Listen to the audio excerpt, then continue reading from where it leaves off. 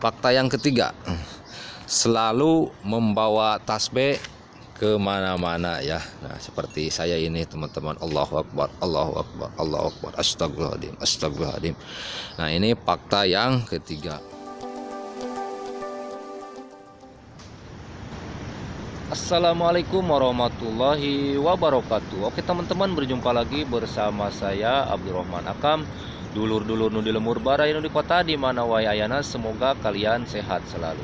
Nah di video kali ini teman-teman ya eh, saya akan mengeser kepada kalian ya 5 fakta kebiasaan baik orang Arab Saudi ya.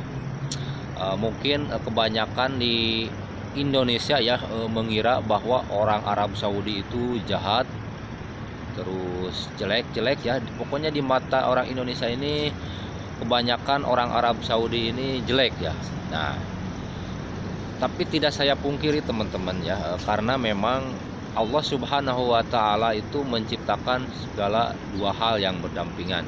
Ada yang baik dan ada juga yang buruk ya. Ya begitu juga sifat manusia ya. Namanya juga manusia ada yang baik juga ada yang jelek.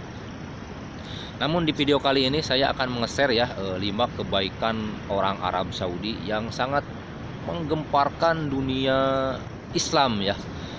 Pokoknya orang Islam yang ada di seluruh dunia ini pasti terpukau ya dengan kebaikan-kebaikan orang Arab Saudi ini. Pokoknya sebelum melanjutkan untuk menonton teman-teman jangan lupa di like dan di subscribe ya dan silahkan follow Instagram saya Jahar Malik. Bisa DM saya secara langsung apabila ada yang mau ditanyakan seputaran TKI Arab Saudi. Insya Allah saya akan membalasnya ya teman-teman. Pokoknya ikutin terus teman-teman ya.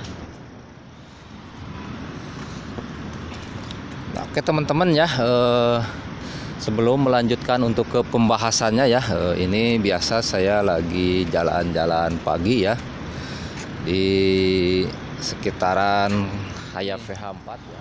Sekarang ya eh, cuaca di Arab Saudi ini cukup mendung. Dan alhamdulillah ya eh, anginnya ini sangat segar sekali ke badan kita ya. Menjadi badan kita itu lebih sehat ya apalagi dengan kita berjalan kaki ya Nah, seperti inilah teman-teman ya e, situasinya di pagi hari di Kota Jeddah. Ya, memang kalau pagi-pagi itu ya seperti ini ya teman-teman kalau ada madrasah, kalau ada sekolahan gitu.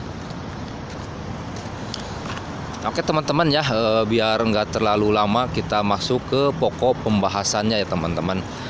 Nah, di sini saya akan membahas 5 fakta kebaikan orang Arab Saudi ya. Nah, oke, yang pertama.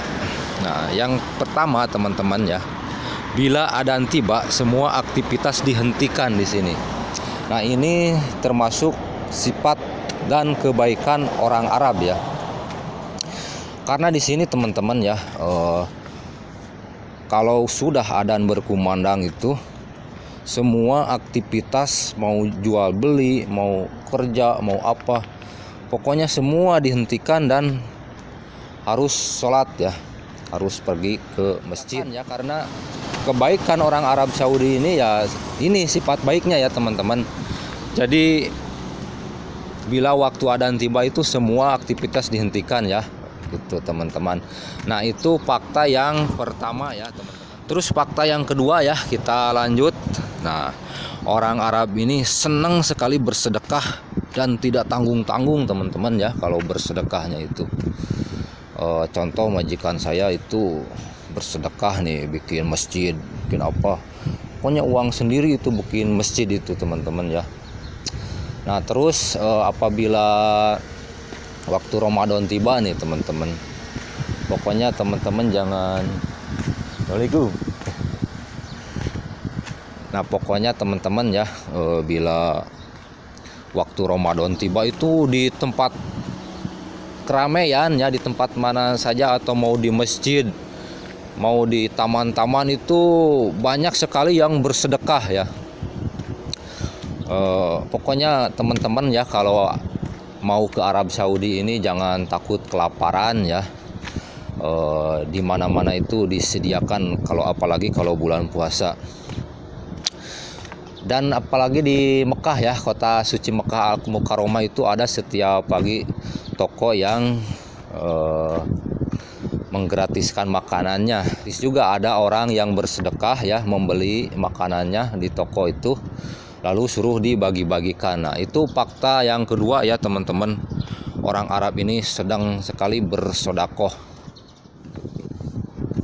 Oke, kita lanjut ke fakta yang ketiga, teman-teman ya. Fakta yang ketiga ini orang Arab selalu memakai tasbih. Assalamualaikum. Salam. Nah, orang Arab ini ke mana-mana selalu membawa tasbih ya. Hal-hal yang sangat baik, hal yang sangat unik pula ya. Jadi ke mana-mana itu selalu bawa tasbih. Ya untuk apa kalau bukan untuk bertasbih, untuk beristighfar ya kepada Allah. Nah, Kalian kalau ke Arab Saudi pasti melihat ya orang Arab ini selalu membawa tasbih. Ini hal kebaikan orang Arab dan hal uniknya ya mana ya. Kalau nggak percaya silahkan dilihat ya. Ya mungkin kalau kalian yang di Arab Saudi pasti sudah pada tahu ya TKI ataupun TKW yang kerja di Arab pasti tahu suka membawa tasbih. Nah itu fakta yang ketiga teman-teman ya. Nah sekarang kita lanjut ke fakta yang keempatnya ya. Orang Arab ini emang sangat baik. Nah yang keempatnya itu wanita di Arab Saudi ini dilundungi dan dihormati dan dijunjung tinggi teman-teman ya. Nah di sini tuh teman-teman wanita di Arab Saudi ya sangat dihormati. Dan di sini tuh kalau punya anak gadis dijaganya ketat-ketat. Karena punya anak gadis di Arab Saudi ini bagaikan punya intan berlian yang sangat mahal ya. Uh, ya memang di Arab Saudi ini sangat mahal sekali wanita itu jadi laki-laki orang Arab ini sangat memprioritaskan wanita ya. Makanya dijaga dan dijunjung tinggi ya oleh lelaki orang Arab Saudi ini. Karena kita itu di Arab Saudi nggak bisa sembarangan ketemu dengan wanita kalau bukan apa namanya bukan mahram apa bukan muhrim ya kalau bukan mahramnya itu nggak nggak boleh ketemu apalagi berjabat tangan ya. Nah kalau di sini teman-teman wanita dijunjung tinggi kalau mobil di sini kalau mobil di sini ditaruhnya di luar. Nah ini kebaikan orang Arab ya. Daripada naruh mobil di rumah ya mending di luar teman-teman ya naruh mobilnya. Tapi wanitanya dijaga dengan baik-baik ya gitu. Ini teman-teman bisa lihat ya di sini tuh mobil nggak ada yang jelek. Ini Suzuki. Ini apa Dodge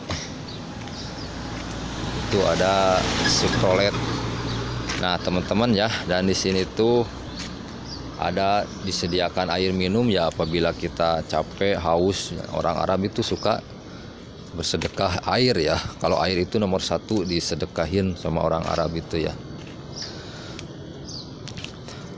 Oke teman-teman ya. Itu fakta yang keempat. Wanita di Arab Saudi ini sangat dijunjung tinggi dan sangat dilindungi ya. Gitu.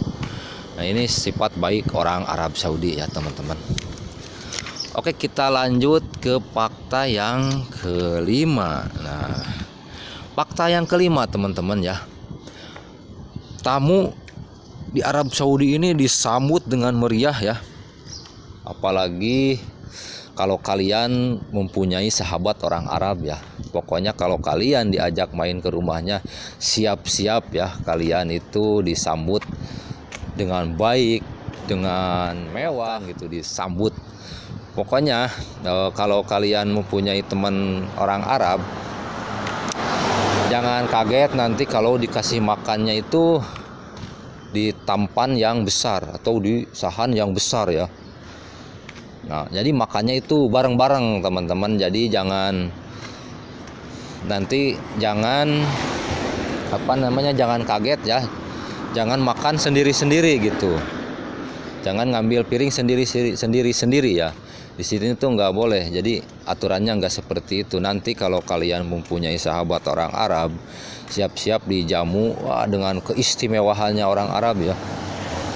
Terus dengan makanannya itu bareng teman-teman. Kadang dari satu kambing ya satu kambing guling itu satu geluntungan satu ekor kambing itu langsung ditaruh di tampan atau tampan itu sahan ya sahan yang besar gitu. Nah itu tadi ya teman-teman kayak gitu. Nah pasti seperti itu teman-teman ya. Eh, ini fakta yang kelima bahwa tamu di Arab Saudi ini disambut dengan meriah ya oleh tuan rumah teman-teman. Nah itu tadi teman-teman ya. Eh, lima fakta kebaikan orang Arab Saudi. Yang patut dicontoh ya teman-teman Oke kita ulang lagi ya 5 fakta kebiasaan baik orang Arab Saudi ini.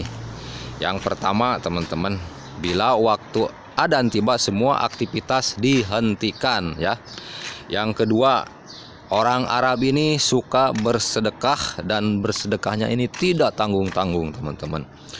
Terus yang ketiga, fakta yang ketiga, selalu membawa tasbih ke mana-mana ya. Nah seperti saya ini teman-teman, Allahu Akbar, Allahu Akbar, Allahu Akbar, Astagfirullahaladzim, Astagfirullahaladzim. Nah ini fakta yang ketiga. Terus fakta yang keempat, wanita sangat dilindungi, dihormati dan dijunjung tinggi ya di Arab Saudi teman-teman. Terus fakta yang kelima Nah yang kelima ini tamu di Arab Saudi disambut dengan meriah Dengan baik hati. Pokoknya eh, Kalau bertamu ke orang Arab ini Dijamu bagaikan raja teman-teman ya. Nah oke teman-teman ya eh, Mungkin untuk video kali ini cukup sampai di sini dulu ya. Mudah-mudahan informasi saya dapat bermanfaat buat kalian yang mau ke Arab Saudi mau itu umroh mau itu hajian mau itu traveling jalan-jalan ya. E, mau bekerja ke Arab Saudi. Nah saya kasih tahu dulu lima fakta di Arab Saudi yang orang Arabnya itu baik-baik teman-teman ya. Pokoknya e, mudah-mudahan dapat bermanfaat lah e, omongan-omongan saya ini buat kalian semua. Oke saya Abdurrahman undur diri. Jangan lupa di like dan di subscribe dulu ya di channel saya biar tambah berkembang lagi dan saya ucapkan ya uh, buat teman-teman yang sudah subscribe di channel saya karena sekarang sudah 15.000 subscriber uh, mudah-mudahan channel saya tambah berkembang lagi subscribernya ya. Oke saya Abdurrahman undur diri. Wabillahi taufiq walhidayah. Wassalamualaikum warahmatullahi wabarakatuh